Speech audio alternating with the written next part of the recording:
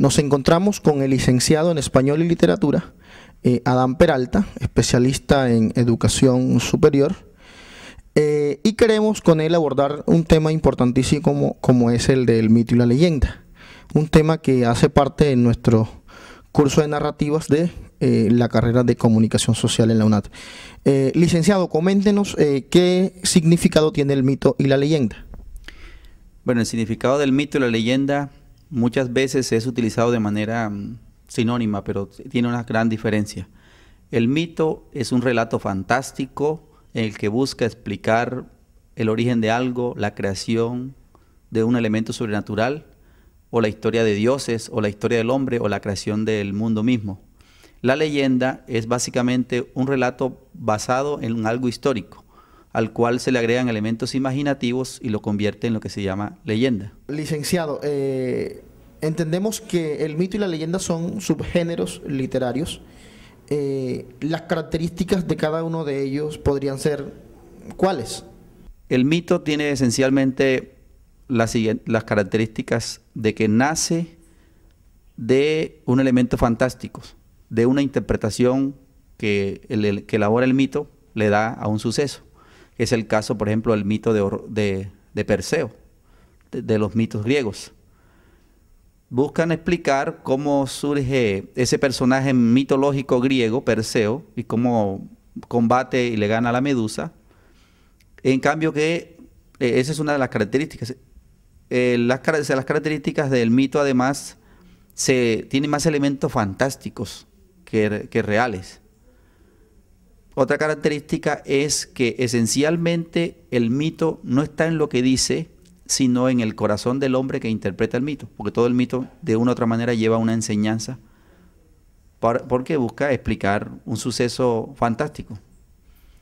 Por otro lado, la leyenda tiene las siguientes características. Nace de algo real, nace de algo real o histórico, que como es un elemento que se va eh, informando de tradición oral y se va dando a conocer de generación en generación, le van agregando elementos fantásticos o elementos imaginativos.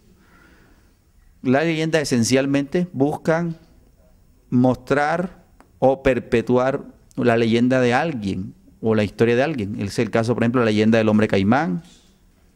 Es perpetuar la historia de un hombre que se metía a las aguas eh, a observar a las mujeres y que se convirtió en mitad hombre, mitad caimán. Bueno, en el tema que hemos venido abordando hay cosas interesantísimas, pero yo creo que esto eh, marcaría de pronto una pauta eh, importante en el desarrollo del tema y es la diferencia específica entre el mito y la leyenda.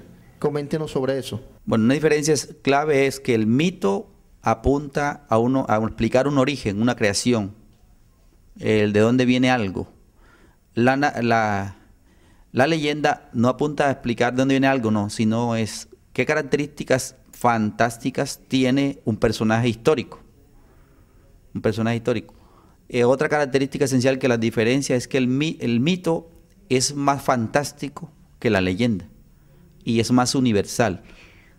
En la leyenda, por su parte, es más histórico que fantástico. Y es más regional, pertenece a un, a un pueblo, a una región, en cambio que los mitos de una u otra manera son universales. Bueno, eh, entendemos que cada, eh, cada uno de estos subgéneros tiene un espacio, tiene un escenario, y nos gustaría, licenciado, que usted nos comentara en qué espacio se desarrolla cada uno de estos aspectos. Bueno, los escenarios, por ejemplo, de la leyenda son básicamente los pueblos. Los pueblos y ciertas regiones de cada país que alrededor de eso crean una leyenda. Por ejemplo, la leyenda del Moán, la leyenda del hombre caimán, la leyenda de la pata sola. Son, son historias que han surgido en una región, el, hombre caimán en Plato Magdalena, eh, la pata sola, por ejemplo, en la zona del Pacífico, en Colombia, etc. En cambio que el mito, los escenarios son escenarios ficticios en cierto modo como, el, como, lo, como lo es el mito mismo. En algunos casos, los mitos griegos, por ejemplo, de los cuales hemos referido ya, el escenario son el Olimpo. Y el Olimpo es algo ficticio donde existieron los dioses griegos que eran los dioses del Olimpo.